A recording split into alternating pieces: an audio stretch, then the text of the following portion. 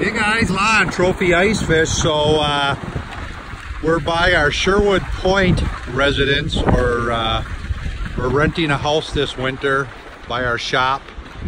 And uh, there's our bridges, there's my truck. But we got a big house here we're renting right on the water here. But I wanted to show you guys something that's really neat.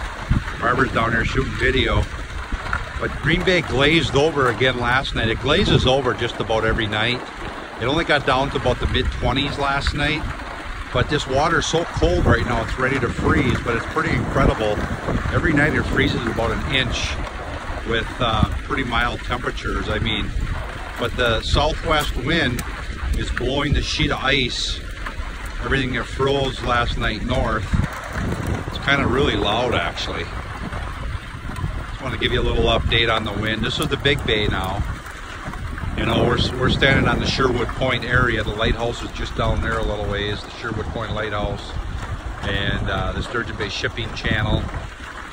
And uh, straight across from us would be around the Peshtigo, Marinette, Menominee area.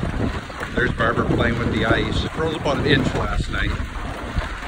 Um, so as soon as we get some sub-zero temperatures, we'll, uh, she's gonna make ice quick. You know, if we get three, four inches pretty quick, I think we can lock ourselves in and start building ice.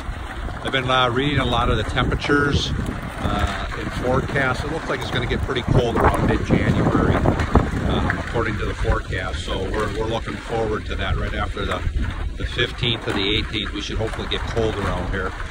So Lon Trophy Ice Fish, just checking out the loud noise, a big sheet of ice just moving. Green Bay. Talk to you later.